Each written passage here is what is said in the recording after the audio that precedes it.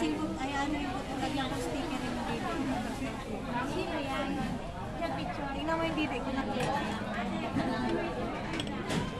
Baby.